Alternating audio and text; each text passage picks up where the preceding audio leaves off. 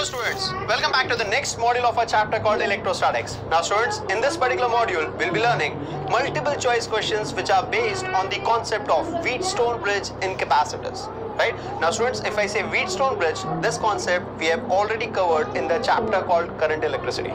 Right? Now students, in this particular module, we'll discuss few basic points which are related to Wheatstone bridge and then we'll start with multiple choice questions in this particular module. Right? So let us start.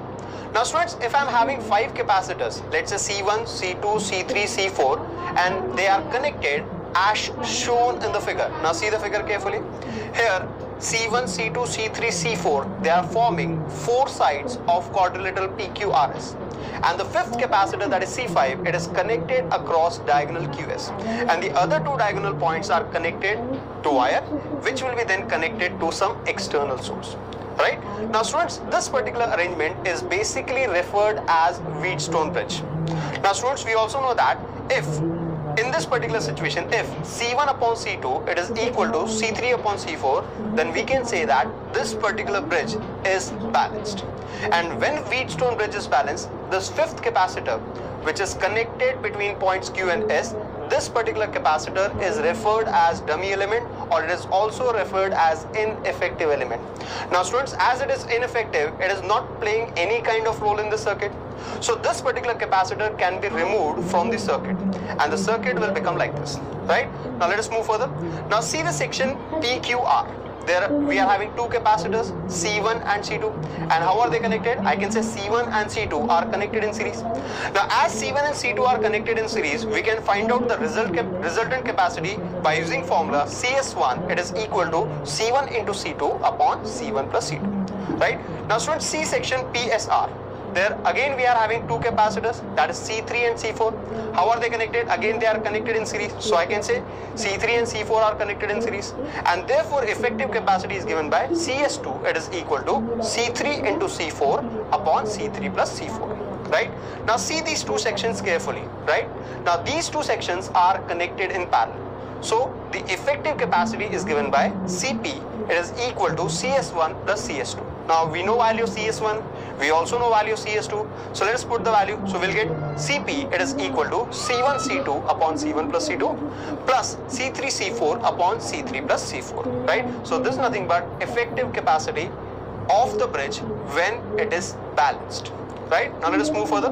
Now the other structures which are representing Wheatstone bridge are, this is the first structure and this is the second structure. These two structures are also representing Wheatstone bridge, right? And the balancing condition is applicable for these two structures as well, right? Now let us move towards the first MCQ. It says five identical capacitors, each of capacity capital C, are connected as shown in the figure. The equivalent capacitance between points P and R is option A, C by 2, option B it is equal to C. Option option C it is equal to twice of C. And last option is 3C right? Now let us start.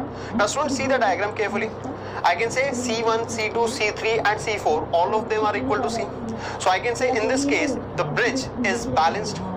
Now students, as bridge is balanced, the section or rather the capacitor which is connected between points Q and S, this is ineffective. So this can be removed, right? Now students see section PQR. Now there we are having two capacitors which are connected in series. Now as two capacitors are connected in series, the effective capacity in this particular situation will be equal to C by 2. And in the similar fashion, see section PSR, again we are having two capacitors which are connected in series and again the resultant capacity will be C by 2. Right? Now see these two sections, again they are connected in parallel. So the effective capacity will be C by 2 parallel with C by 2 or I can say it will be C by 2 plus C by 2. So in this case the resultant capacity will be equal to capital C. Right? So I can say resultant capacity between points P and R is C. So which option is correct? Yes, option B is correct in this particular situation. Right? Now let us move further. Now students, in this particular case, C1, C2, C3 and C4, all of them were equal. Right? And resultant capacity was also equal to C. Right? So I can say if in Wheatstone bridge, if C1 it is equal to C2, it is equal to C3 and it is equal to C4, then the effective capacity or the resultant capacity it is equal to either equal to C1 or equal to C2 or equal to C3 or equal to C4, right? Clear? Now this concept we'll be using in the forthcoming MCQs. Right? Now let us move further. Again, here we are provided with five capacitors and we are supposed to find the effective capacity. Now students, as all capacitors are equal, so we can say C1 is it is equal to C2, it is equal to C3 and it is equal to C4. Right? So I can say in this particular situation, the resultant capacity will be either equal to C1 or it will be equal to C2 or it will be equal to C3 or it will be equal to C4.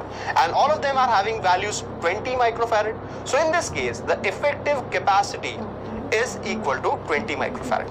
In this case, we can say option B is correct. Now let us move further. Now students again, this structure also represents Wheatstone bridge. And here we are supposed to find effective capacity between points X and Y right?